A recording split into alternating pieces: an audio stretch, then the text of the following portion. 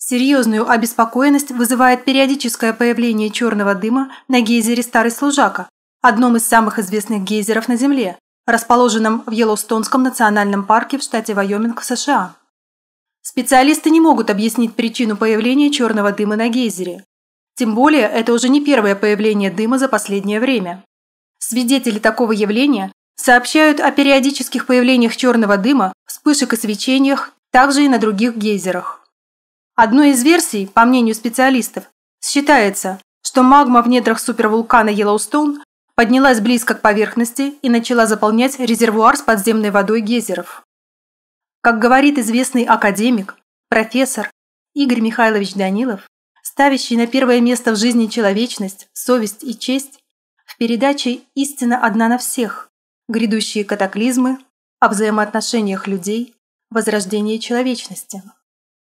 В современной климатической ситуации, скажем мягко, все-таки людям лучше быть людьми для того, чтобы протянуть руку помощи друг другу. Здесь еще один есть, это я говорю для людей, которые как раз находятся на сознании и больше все-таки поддаются, скажем, страстям земным, да, чем духовным вещам. Это выгоднее. Это кажется, что нас это не достает. Угу. Катастрофы происходят там. Это сегодня не там происходит. Завтра они произойдут у тебя дома. Тебе поможет сосед? Нет, конечно. Если он будет таким же, как это. Правильно? Так что нужно сделать?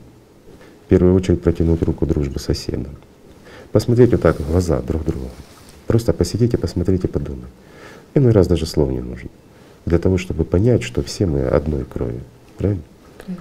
И вот тогда будет жалко соседа, если соседом беда случится. Когда ты будешь готов помочь этому соседу, это будет означать, что и сосед сможет помочь тебе, если беда придет в твой дом. Но пока ты сам не готов помочь соседу, не жди от него помощи. Он такой же, как и ты. Он живет в тех же самых условиях.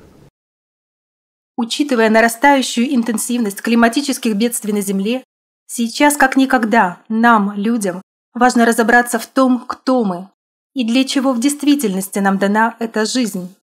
Глубокие и честные ответы на эти ключевые для каждого вопросы даны в уникальном фильме на канале АЛЛАТРА ТВ. Это больше, чем фильм. Это живая книга. Сознание и личность. От заведомо мертвого к вечно живому. Если вам понравился наш выпуск, ставьте лайк, подписывайтесь на наш канал и будьте в курсе новостных климатических событий в мире.